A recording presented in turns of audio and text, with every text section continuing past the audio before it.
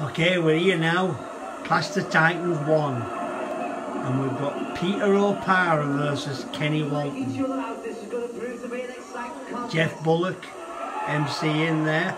And Unel Wellington refereeing. Wow, legends on the map. Legends in the venue. I mean, this is uh, Premiership martial arts from 30 years ago. And, you know, I, I find I don't see it much today, if I'm being honest. Kenny Walton, I mean, he's a big man in the TAGB. He was the best fighter. Tony Soul as well, matching Tony Soul. He fought full contact, semi-contact, he did it all.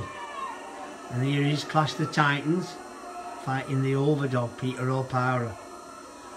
Look at that.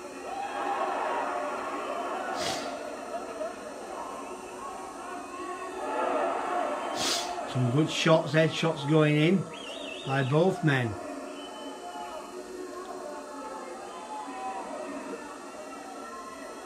Hmm. The martial arts attire. 30 seconds left, come on.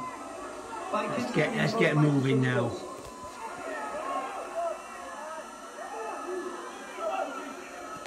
Oh, what a sweep.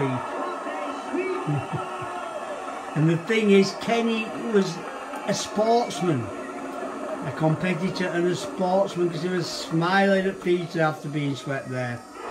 Look, look.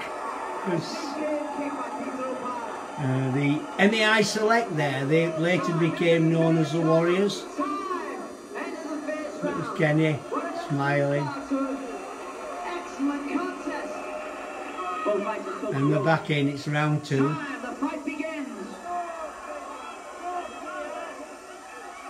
You know, Peter was out to hit in a great movement. Kenny keeping the pressure on there with his kicks. I mean, he did anybody else with those kicks easily. What a sweep. Real power was punching power, kicking power and technique and sweeping. He had it all down to a T. So Kenny Moore, kicker, puncher.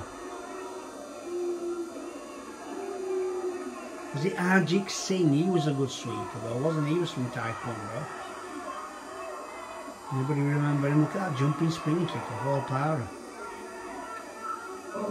Now really psyching each other out, going all out to win.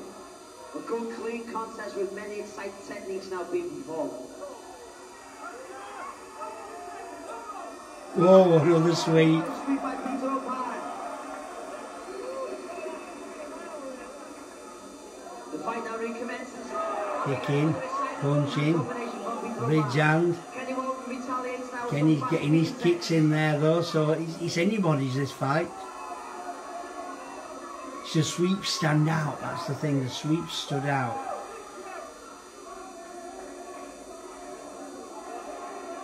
Thirty seconds left of the last round. 30 seconds, come on now. The fight now continues. See. A superb spinning kick by Kenny Walton. See, on the retreat, those back kicks and they're solid. They go overhand. We'll see what they can do, won't we? Kenny Walton again showing some of his fast footwork. Get a clinch. I think both men tired here.